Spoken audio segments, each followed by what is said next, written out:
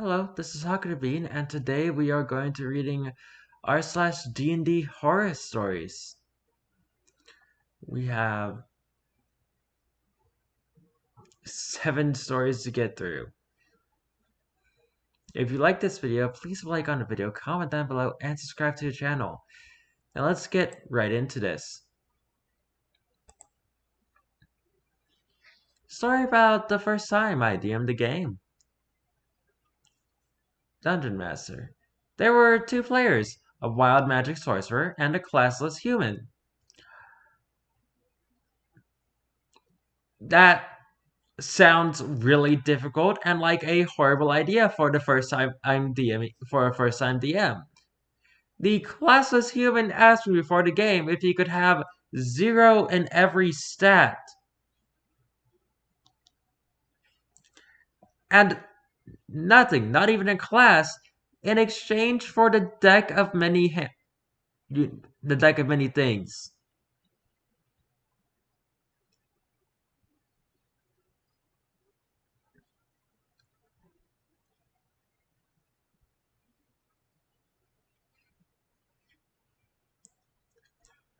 What?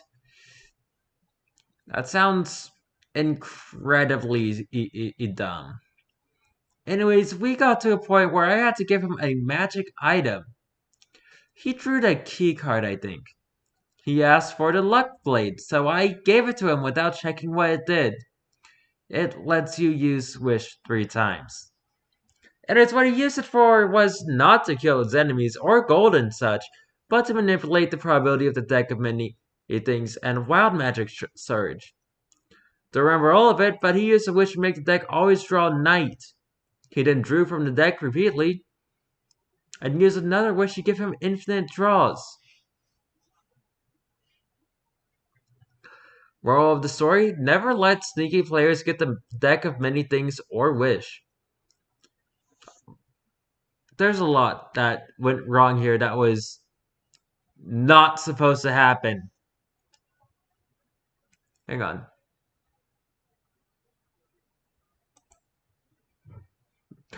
what the heck?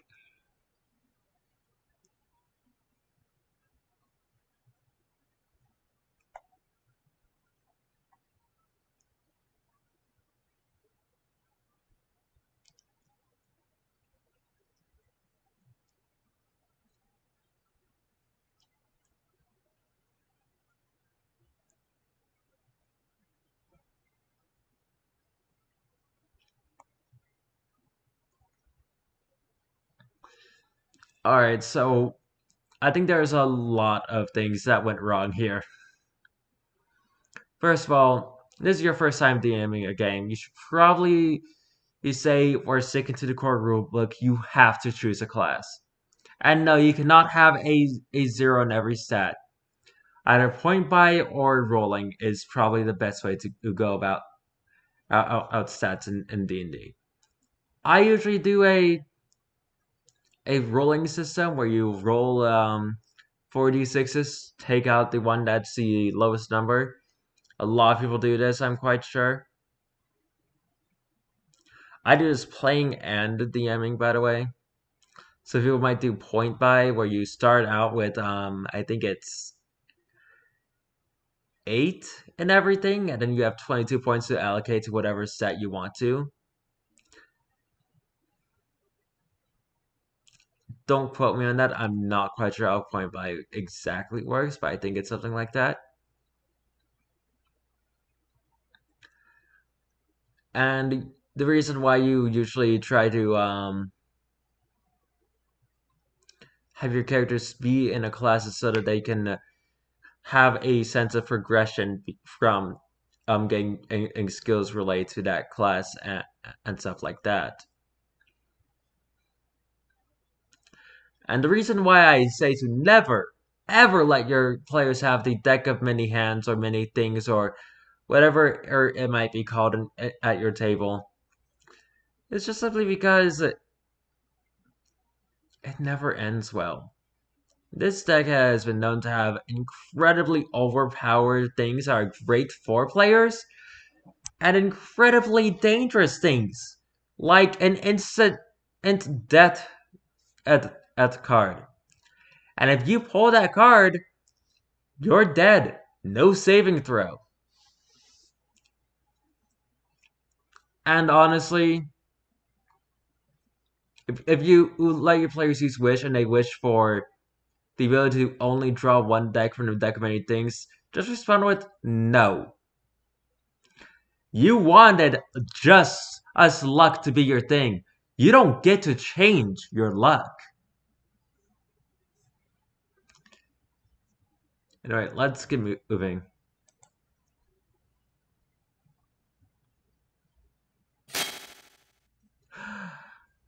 Okay. Player bullied a player into quitting. I am the GM. Male 36. Of a three month old campaign. It is our second campaign together, and the group consisted of six players three female, three males. A nice balance.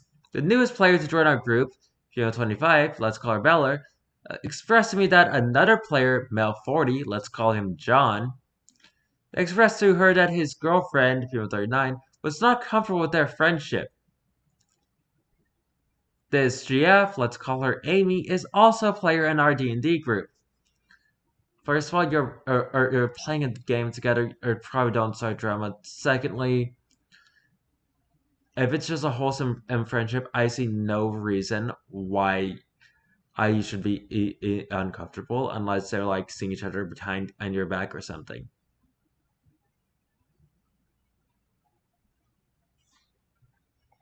Let's continue on. So let me write this out plainly. John and Bella are co-workers. I am a former co-worker of Bella and John. Amy only knows all, us all through John and started playing with us when she and John started dating one year ago.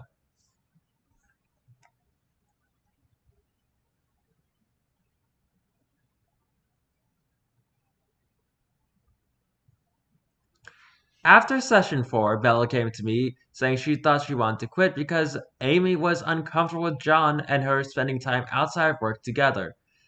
John had better freaking run. This is sounding incredibly toxic it uh, got from Amy. D&D being the only real instance of that. I explained that I didn't want her to quit and pressed her to stay on, saying this was a group activity and offered to talk to Amy about it.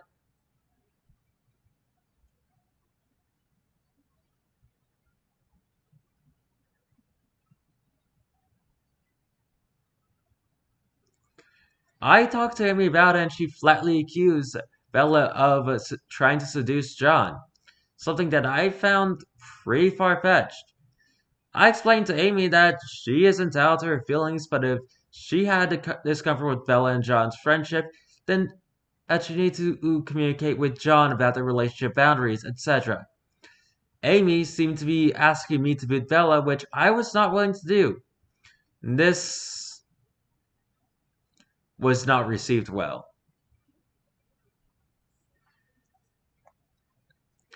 TLDR, Amy proceeds to do the following spread lies to others about Bella and her her, her, her life. Talking outside of D&D, which to my credit, I called her out on but got ignored. Send harassing texts to Bella. Wow. Write several ed posts which I will not link regarding the perceived relationship between John and Bella. Amy's behavior is, at this point, beyond unacceptable. Bella eventually quit the campaign in tears, something John later told me had been Amy's goal. I spoke to John about Amy's behavior. He was generally like, What Amy wants, Amy gets. She is my girlfriend and I love her. Kick them both out. Kick them out now. This is not okay behavior in any sense. It doesn't make any sense and it is incredibly toxic. He is simping for her heart and refuses to talk to her about it and wants what happened to just die its own death, it seems.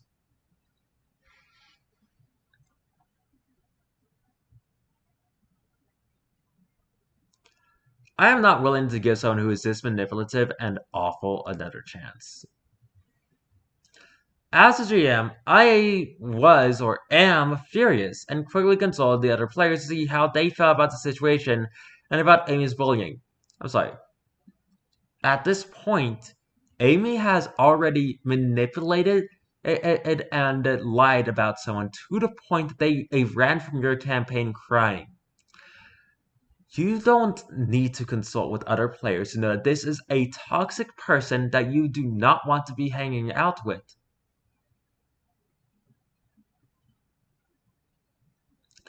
While the other players are clearly uncomfortable with what happened, that's enough. Get her out of your game. All seem to be willing to give Amy another shot and do not want the risk want to risk asking Amy to leave for fear of losing John as well. I've considered speaking with Amy one on one regarding what happened, but John and the other players feel that if I do that, Amy will quit, taking John with her, thus unraveling the campaign. Okay, you can start a new campaign, but Amy needs out of this group. John is much beloved in the group, and the other players see Amy as a necessary evil to keep things going. Honestly, fine, one of you who can DM them at that point. I'd be leaving. Furthermore, it is the opinion of the group that there is no benefit in talking to Amy as it won't bring back Bella. This makes sense to me, and I feel beholden to respect their wishes, but still, the whole bullying thing really leaves a bad taste in my mouth.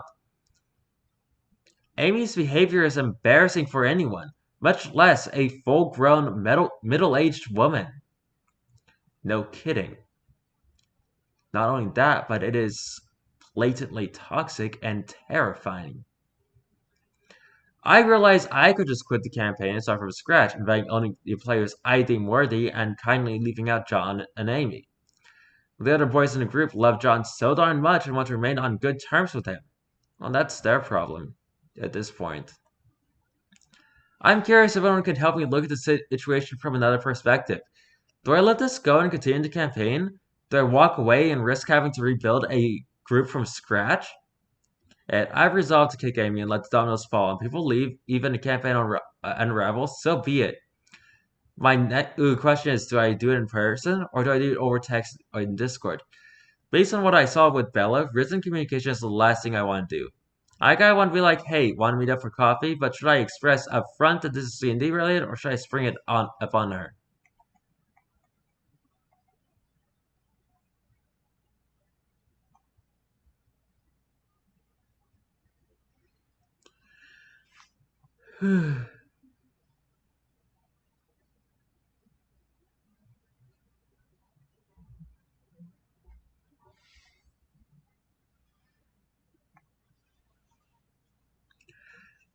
yeah, everyone is pretty much saying that um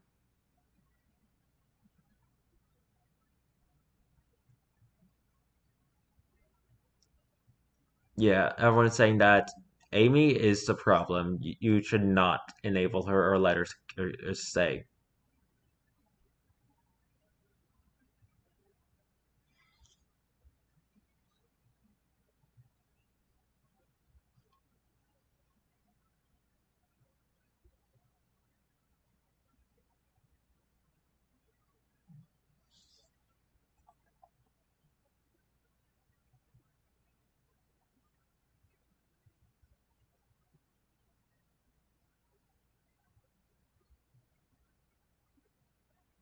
All right, let's read that update. Update 1. I reached out to Amy and, shocker, she denied the whole thing. Despite my receipts, she claims she never made the Reddit post and that whatever happened between her and Bella had nothing to do with D&D and that I need to basically stay in my lane. Okay, you can get out of my game, Amy still. You're still not a person I want to be hanging out with, and I don't want to play a, a D&D with you is my only response to that. But she also said, since it's clear that I violated your safe space, I will not be participating in D&D anymore. Yeah, D&D is supposed to be a safe space to begin with. I think you can ask John yourself if he wishes to keep playing. Yeah, I'm just gonna say right now that um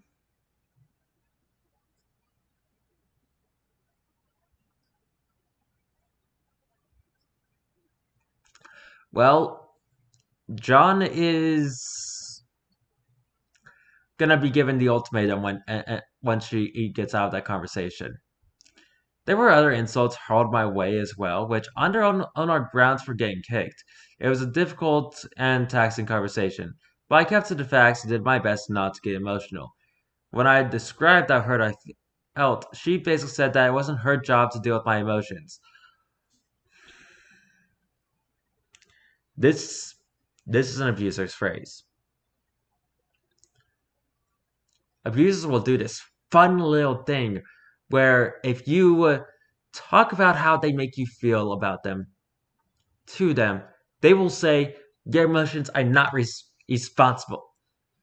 If you talk about how they make you feel in front of them, to them, or or or or, or, or just directly to them, they will always say, Your, your emotions are not my responsibility. But then if you talk to someone else venting about how they make you feel, they will get mad at you for talking about them behind their back. It is a common thing and it always bugs me. And they will always say, Why didn't you come to me about that? And it's like, Because you clearly don't care.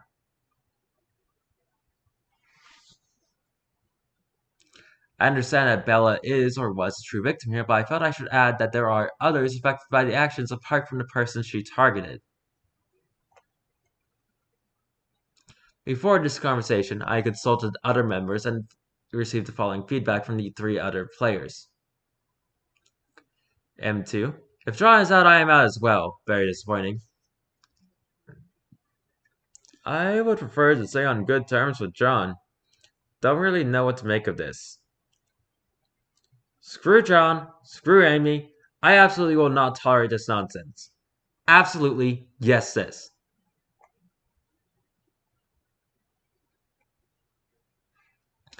I will reach out to John and let him know my feelings, allow him to make the decision to understand that Amy is persona non grata. I have never heard that phrase before, but I'm guessing in it by context. I'm guessing that uh, you mean in she's not uh, uh, uh, uh, welcome back in the in the D and D group. I do not expect John to choose D and D or our friendship for that matter over keeping his peace with Amy. Yeah, John's in a very abusive looking relationship so far. Amy's gaslighting insistence that I am somehow mistaken about what happened is very upsetting, and considering that I confronted her with evidence received from Bella and John both regarding the bullying, instead sends me that an adult, nearly 40, is acting this way and that someone I trusted continues to lie to me to my face.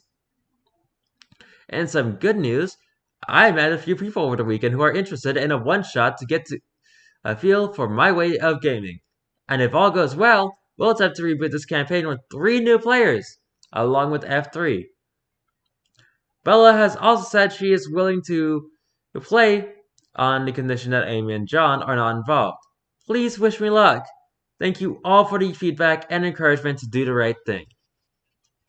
Well, I mean, you were definitely. I mean, it was the only decent decision and was kicking Amy out. This is just icing on the cake.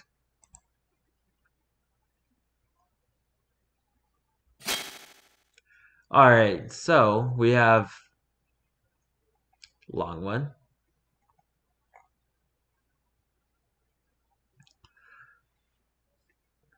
Here you go. I'm starting to get seriously annoyed at a potential player.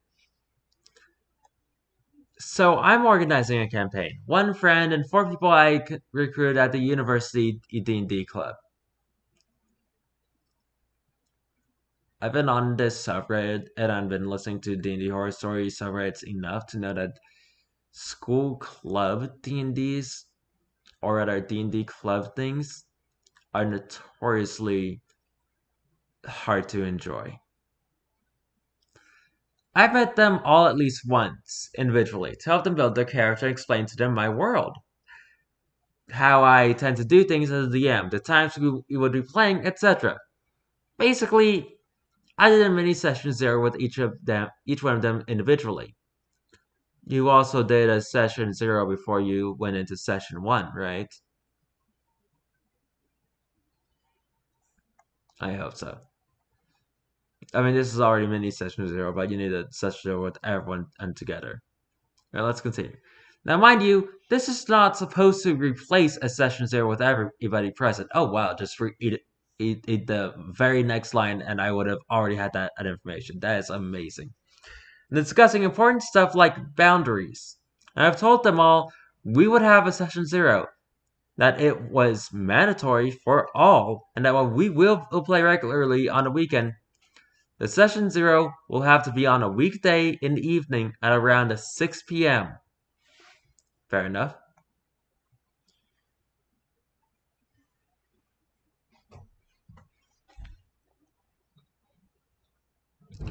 So, this annoying player, I'm a little bit concerned. First Strike was on my first voice call with them, as well as the two other players that took place before I actually met anyone in person. He kept rambling, cutting short the other two, especially the more soft spoken one, and he just didn't seem to listen. This might be a first time player. I mean, I know I ramble and cut people off a lot when I'm talking to different people. That's me being a little bit neurospicy. I would tell him something and then he would just talk for like for like five minutes about a previous TTRPG experience of him that was vaguely related. Big red flag at this moment. Also, when I was talking about the okay slash not okay things for me as the DM in my campaign, he would agree he would not uh, do it, but also tell a funny story of a past campaign when his character did something like that. Nothing crazy, but enough, enough to make me, and I think the other two, a bit uncomfortable. I had a chat with just him after that, and he seemed to understand, and when I met him for his character sheet, I actually got very reassured. A bit weird socially, but nice and respectful. Yeah, this is definitely, um, so far just someone who, who isn't really good at social things that well. At that point, I told him again that session zero will have to be in a be on a weekday and in the evening. He didn't complain or voice that it would be a problem. So yesterday, after having met the last person, I made a call on Discord. We'll play it physically, but Discord is here to help us organize, to choose when we'll do the session zero. I propose nine dates. They all answer except him. He just says it's going to be complicated for him this week. Mind you, the dates spawned two weeks and a half. I DM him and to try and find a solution. He tells me he has studies every day until 6 p.m., which I know to be BS. In my university, no one is finishing at 6 every single day. But I don't call him out on that. As far as the fact that 4 out of 9 dates are starting at 7.30 instead of 6, and one of them is already confirmed okay for everyone. Now he tells me that he's just scared he's gonna fail his school year if he doesn't sleep enough, so he doesn't want to do it during weekdays, and that he has to wake up at 6 every day. Again, probably EBS, but less obviously so than his last claim, so maybe. So him, I don't really know what to answer, but he knew session zero was mandatory and that it would be during the weekdays on the evening unless he didn't listen because he was thinking of what he would tell me next when I was speaking, which I'm starting to think is likely. I think he just tells me he'll come back to me this evening right now because right now he has to go to class. So I'm left there waiting and not knowing if I should search for a new player. I mean, you have more than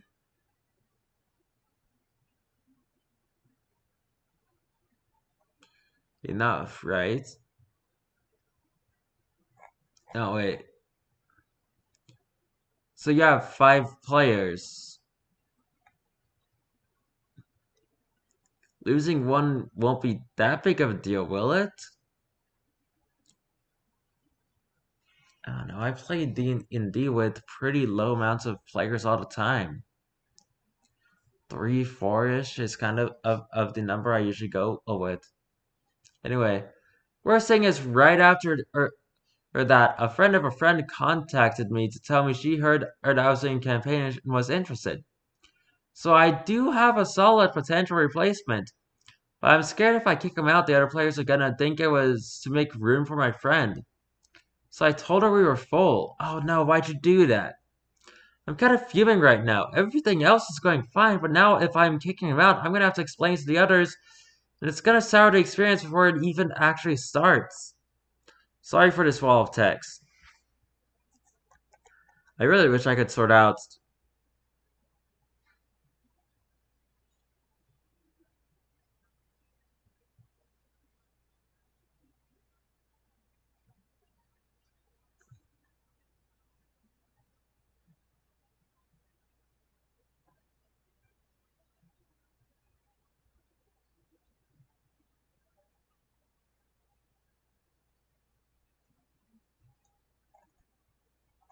Alright.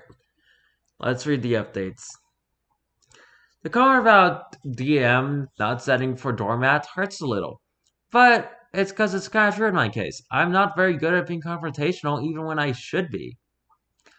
I pushed myself and explained to the rest of the group about it in far less details and subtle language. The only reason I allowed myself to be emotional and blunt here is because both me and him are. Are anonymous. I'm gonna wait a few more hours before telling him he's gone. I'm kinda hoping he's gonna come back to me as he promised, and that he's gonna tell me himself he can't participate. But if not, like I explained, he already lost my trust, so I pushed myself once again to boot him. As gracefully as possible. I don't want to be needlessly hurtful. Yeah, that's that's fair. It's already early evening in my country, and he's been online for a while, so I'm kind of thinking he'll just not come back to me. We'll see. Thanks to you all for being blunt in your responses and pushing me to act. I'll give you one last S update when it's all done. Hopefully, it won't be a horror story ending.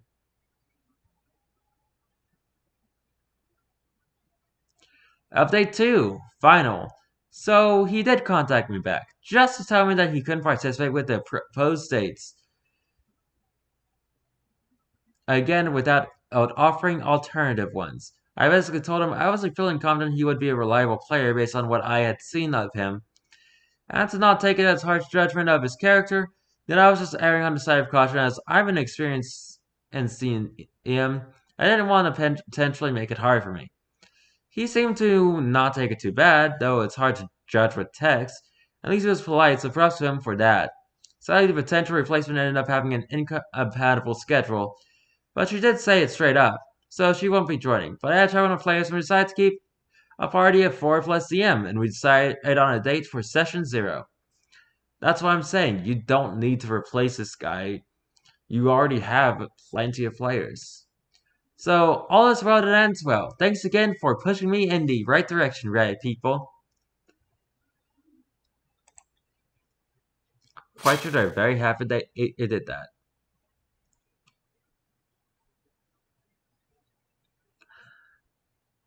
Oh dear. That. Well, this story is longer than I thought it would be. Anyway. this to be a horror story, but it's looking a lot more funny than horror. Anyway.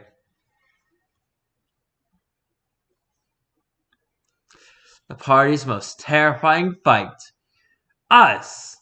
So this isn't a vein of a problem player it was just horrifying in game. If anything, I was technically the problem along with the RNG throwing a hissy fit. So I play in a weekly online game. I always jokingly complain about having the worst stats in the party. I rolled a very extreme on both ends. 17, 15, 12, 11, 9, 7.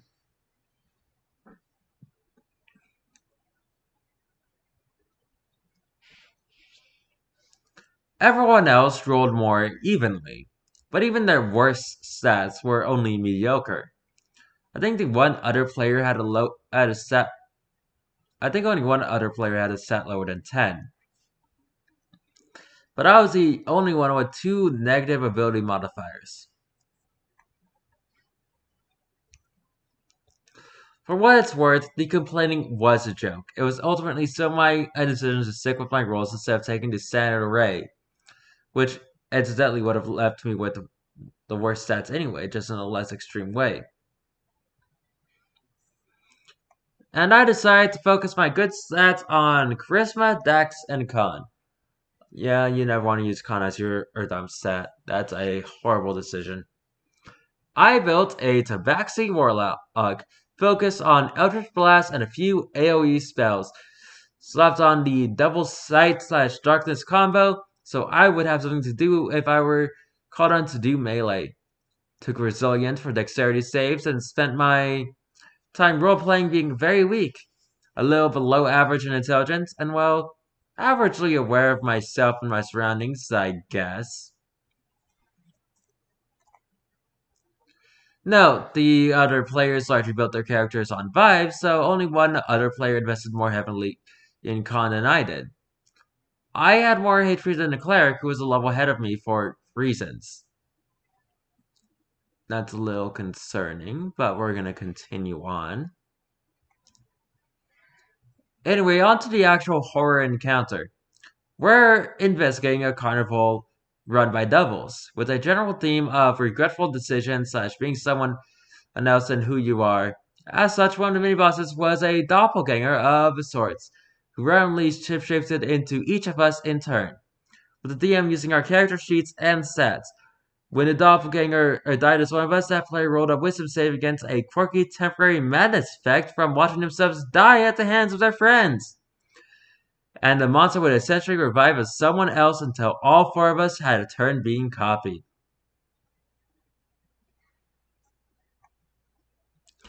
Doppel Cleric was FTK'd by the Gloomstalker Ranger. Doppel Ranger, the only character with con the only other character with con investment.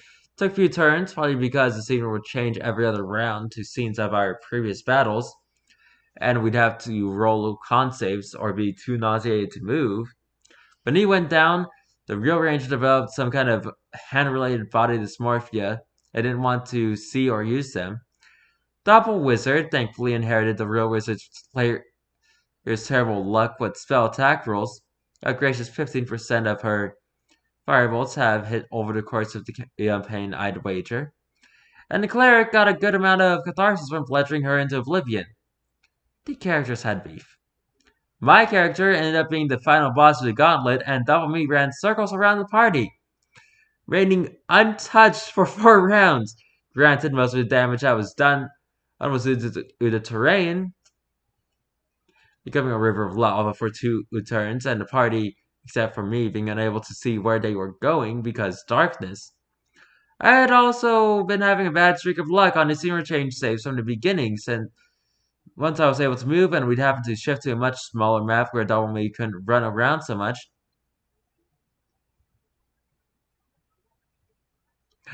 I managed to damage her enough to break her concentration on the darkness, at which point we held her down and stomped her in the corner the Ranger was still having hand issues for a round or two. So yeah, the Ranger officially scared half the party into putting their ASIs into combat and taking the tough feat. All the magic users are making sure they've got strength and intelligence save themselves just in case something like this happens again. And I've lost all complaining rights about my stats. Fun time! Your joke was as destroyed.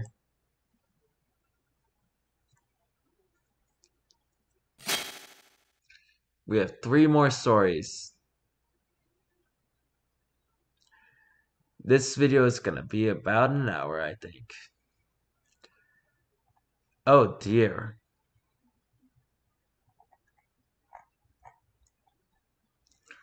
My DM made my friend cry. So our campaign has been going on for a while. We are currently level 14, but there has been some issues down the line. Our DM making encounters unbalanced, pushing one player's storyline while others have gotten little to no story, which has made the players who was getting pushed upset that no one else is getting story, forgetting plot points, etc. The most recent session, our party had been captured and locked in a dungeon. A guest player was helping us break out with her 18 year old apprentice. All of us in jail had no magic items, armor, and weapons we'd collected from, um, from two guards we killed. One member of our party was still chained and tied up last session, so we asked to have the spotlight on her. Her spotlight was getting kicked a few times by a different guard in her cell, going in, into headbutt him, and getting acid poured on her arm. Other than that, she sat out the two to three hour session. What the heck? We made our way into a chamber where there was a Goliath and a magic user woman. Both of these enemies had armor, magical weapons, as well as ridiculously high saving DCs.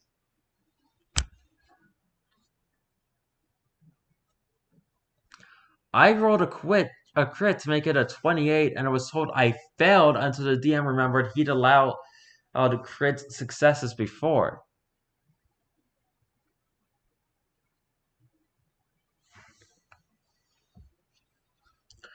The first half of the session, the DM openly joked and made fun of me until I until I told him to stop.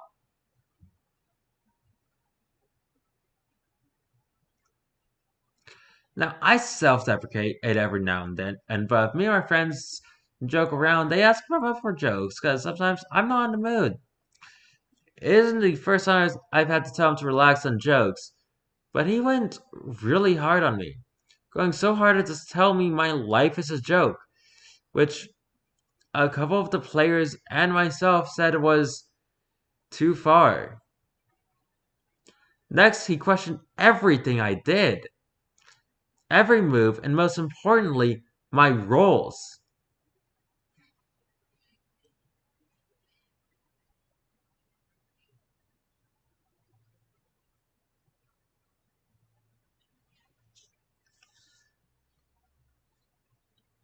My character has some high modifiers, and sometimes I roll high.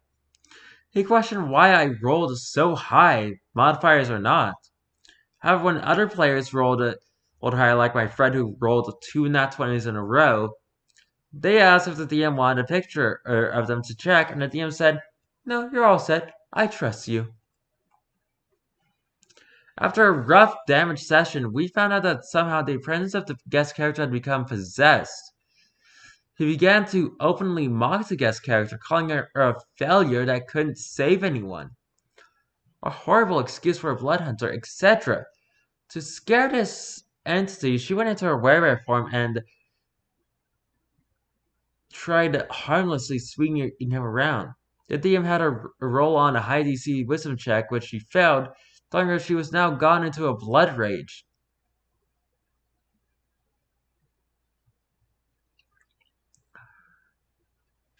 Me and my friend wanted to cast Command and Earthen Grasp to stop her, but not before the DM explained how she beat her 18 year old apprentice to a disgusting bloody pulp. This session needs to be retconned, and maybe the DM needs to be dropped here. We explained that we wanted to cast before that happened, and let us backtrack. That part, part of the damage had been done already. We were able to restrain her, but she broke out, and uh, he had her down to friends again before restrained her and broke her out of it while another player broke at her last friend in prison. The session ended with him telling her how she held the broken, swollen, bloody body of her apprentice who might be alive because she poured a healing potion down her throat. At this point, they were fighting back tears. It wasn't discussed with her that this would happen or if she would be okay with it. And it crossed a big boundary for her. Yeah, this seems really messed up. DM then said he needed to re-evaluate how he treated people and how he acted and just left the call. I heard they talked and he started to apologize, but backpedal a bit. I also talked to him about his behavior with me, and now we are on a hiatus for a few months. We all aren't sure of the best course of action right now, as we do love this campaign, but this session was just very brutal. Yeah, that seems really messed up.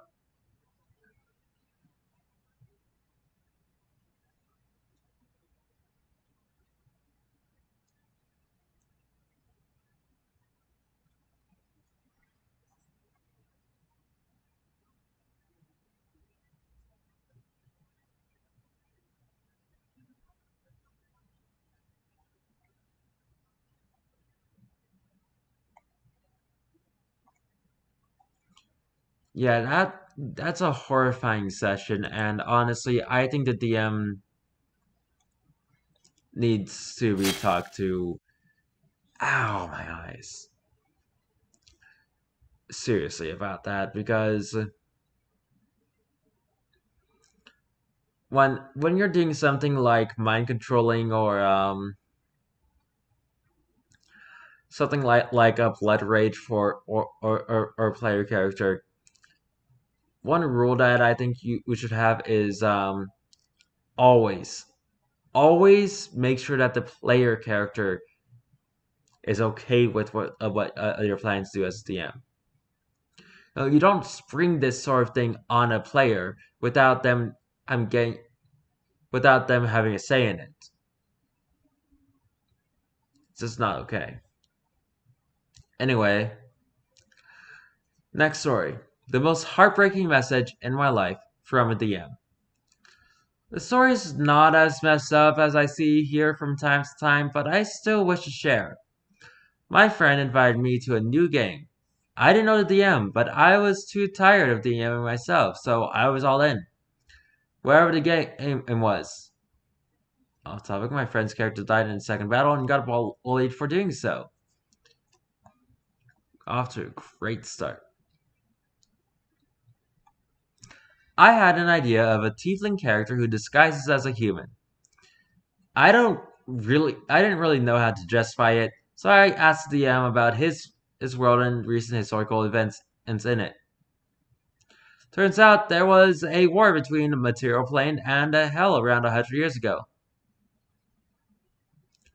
Tieflings weren't considered enemies by default, and Material Plane was a homeland for some of them, Basic DM said that I was good to go with that character. I have come up with this backstory. My character is a second son of a tiefling general who proved himself worthy during the war.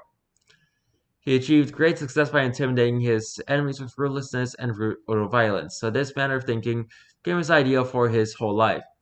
Firstborn son of this general should have been his successor. My character wasn't really affected by his father that much. He with his better so he'd become a bard and didn't really want to hurt people. He was a really soft and joyful kid, but at some point, his older brother left the family, or disappeared, or was kidnapped. It didn't matter. But I wanted to make it unclear so DM could make a plot hook out of this if he wanted to. And suddenly, my kind and gentle character became this brutal general's only possible heir. This was no bueno for the father, but he needed someone to succeed him. It was time for extreme measures. The son was stripped of his name, his nature, and his face until he could until he proved he could be as violent as his father. As soon as he stops playing by his father's rules, he loses his right of inheritance.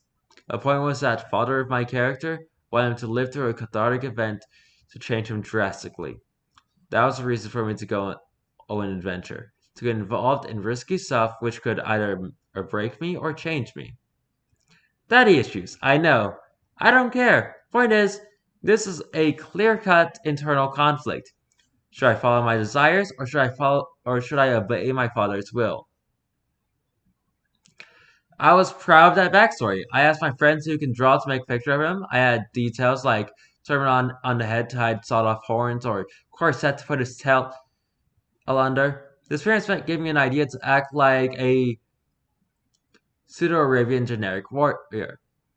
That made a decent fun character on its own, so I didn't have to reveal myself to other party members early on. I picked a Hexblade Warlock and made Scimitar uh, my weapon of choice. I got permission from the DM to make the Hexblade an item that can be used as a way to talk to the patron, aka my father.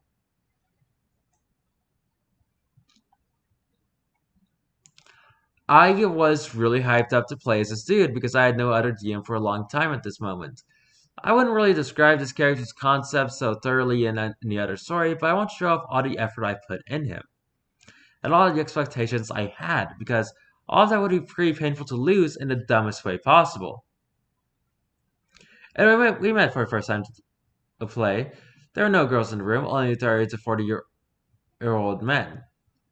I thought it was fine until I started noticing some filthy jokes about pretty much every second female character. From the DM as well. I didn't really like it, but it was somewhat bearable. First large sign of me getting into the into wrong thing, wrong game revealed when we met a Bard NPC. He was sitting in the middle of the room in a dungeon trying to write a song. He kept saying the same three lines he was trying to come up with the rest of the lyrics.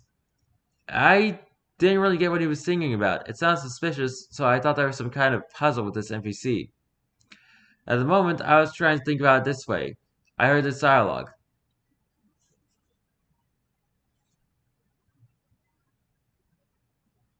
Warrior, oh, I know how you can end this one. Where it pulls out a phone, starts reading some kind of poetry with completely different rhythm and meaning from the Bard's song. Liam, did you write it? Sure did. Okay, he expresses his, his gratitude. Have an inspiration.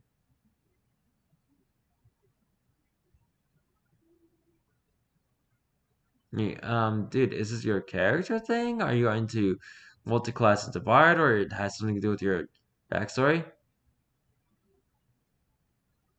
No, and no. Why?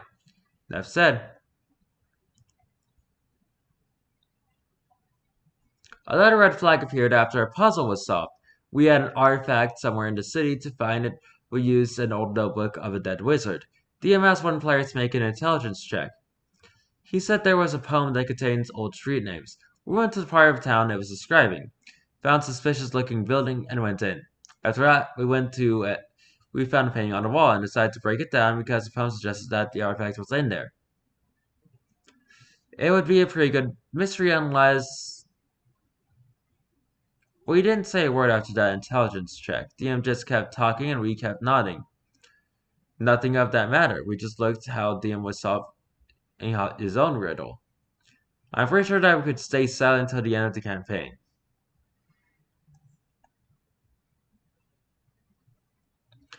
I guess it is okay to skip some of the mysteries to keep up the pace, we didn't have a chance to solve it. Why was this poem there then? Well, I don't know. After some zombie e-killing and puzzle skipping, we finally get some time for a long rest. My character pays for a for a separate room and tries to reach his reach out to his father. We skip the actual dialogue since I wanted to say a secret from my from my teammates. The session is halfway through and we keep going. Later the next day, I text a, a DM.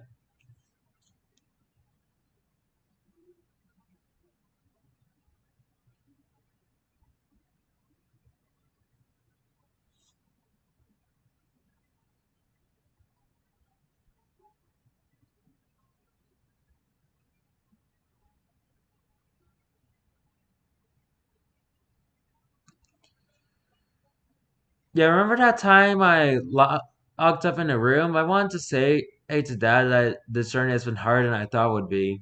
I'm far from giving up yet. I already wish it would be over. Okay, wait a minute. Could you explain why do you do all this? What? Why do you use the disguise? Well, he wants me to so I could harden up and replace him, you know? He's cruel, I'm soft, this kind of stuff. Didn't you read any of my texts about it?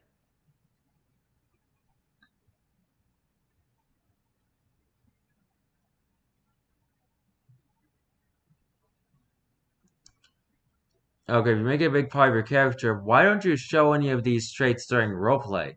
At this point, I really stopped understanding. Well, A, it's an eternal conflict that wasn't triggered by anything outside the character yet, and B, I just wrote to you in role-playing purposes. After one day of science and chat, I see that promised heartbreaking message. Okay, here's the response from the Blades. Your ad is lawful good and wants you to make heroic deeds. That was the moment eh, I realized it was pointless playing good games with this person. Even if I can explain the idea of the character again, I can't be sure or he, he is not assassinated tomorrow somehow else. The next time, on the next game, I told um, that I can't play anymore due to these schedule complications. We had a fight with hypnotized crowd of commoners. I decided it is a great way to go. In any other game with any other DM, I would think this was intentional. But now I think think it was just a great coincidence. My character didn't attack women and children at all costs, but there were no party members nearby to protect me from them. I got surrounded. I had to attack. After the fight, my character bursts into tears and throws away the Saint Hex blade. At that point, I say goodbye to all the players in the DM. By headcanon, he became a, a roaming, self-educated bard who can't wait to regrow his horns.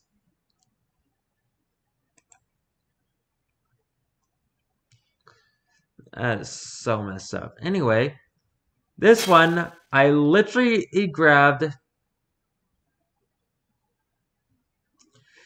because it was a it was an obvious, pretty um, hilarious, itch looking rage pose.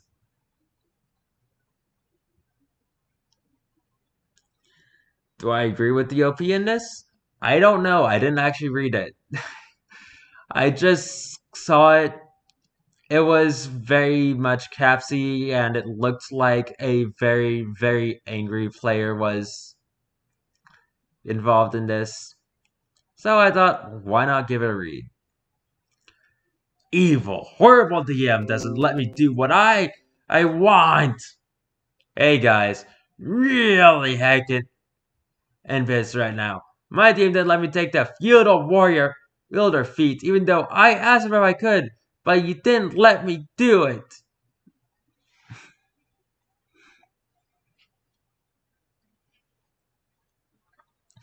For context, I am a sorcerer slash warlock multi-class.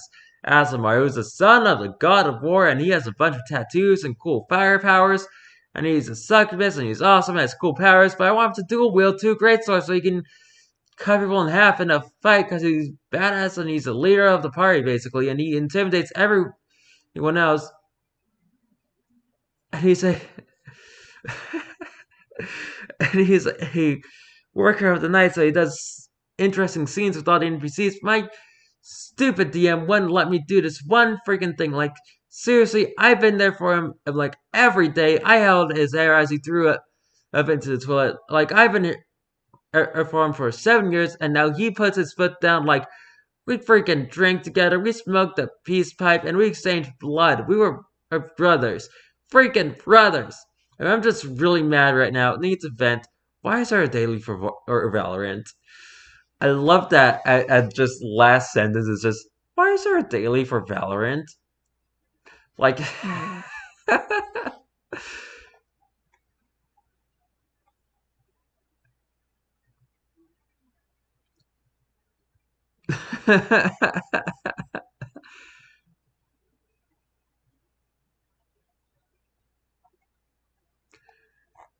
I mean, this is clear and so obvious it is fake, but oh my goodness, that was just too good.